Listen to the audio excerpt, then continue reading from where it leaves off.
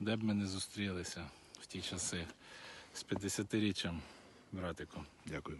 Москва впаде. Перемога буде за нами.